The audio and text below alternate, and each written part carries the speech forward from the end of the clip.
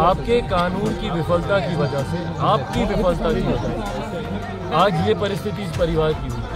अगर आप कानून को सशक्त तौर पर धरातल पर उतार पाते तो आज परिवार इस तरीके से रो बिलक नहीं रहा होता। मुख्यमंत्री देना क्या समाधान है उनका सर स्थानीय शराब से हो रही हत्याओं का क्या समाधान है? समाधान यात्रा पे निकले ना मुख्यमंत्री?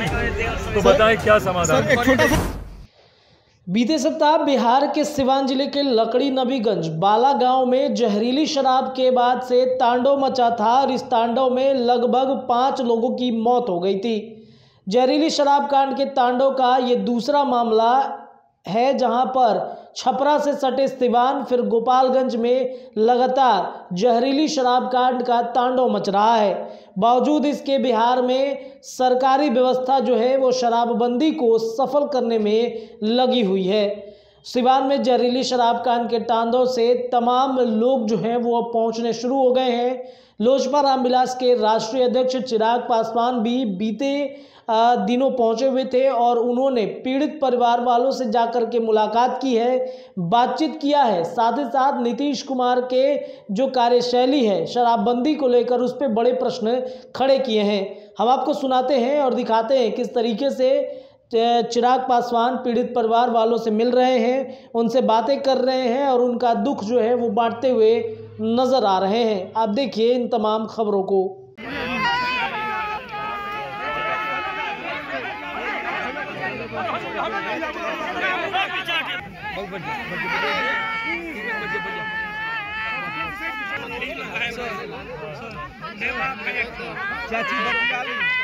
शादी नहीं हुई है, शादी करना है, कमाने, खाने वाला व्यक्ति क्या है?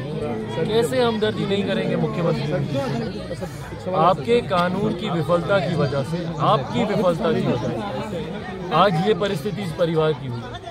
अगर आप कानून को सशक्त तौर पर धरातल पर उतार पाते तो आज परिवार इस तरीके से रो बिलक नहीं रहा होता और अपनी नाकामी को छुपाने के मुख्यमंत्री बिहार विधानसभा में खड़े होकर बोलते कि भैया हम लोग की हमदर्दी नहीं है। दिखाइए ये तस्वीर। समाधान यात्रा पर निकले, क्यों नहीं आते मुख्यमंत्री यहाँ पर? देखिए इनके घरों के हालात क्या हैं। अभी तक किसी सरकारी योजना का लाभ तक इन लोगों को नहीं मिला। और मुख्यमंत्री बोलते हैं कि भैया हम समाधान पर निकलेंगे। सर एक भैया यहाँ भी कुछ ग्रामीणों कि कोई कई ऐसे बॉडी है जिनको पोस्टमार्टम नहीं कराया गया है। तो इसको कि, इसको किस नज़र से भाई जितनी भी इससे पहले भी जब यहाँ पे इस तरीके की घटना घटी थी आंकड़ों को कम करके दिखा के इक्यावन बावन पचपन जबकि हम खुद आए थे उस वक्त भी। और उस वक्त भी हम इस विश्वास के साथ दावे के साथ हम बोलते हैं कम से कम 200 से ज़्यादा हत्याएँ हुई थी उस वक्त। और हम इसको हत्या की श्रेणी में ही गिनते हैं। जहर दे के आप मारिएगा तो वो हत्या ही होती है। उस वक्त भी 200 से ज़्यादा ऐसी हत्याएँ हुई थी।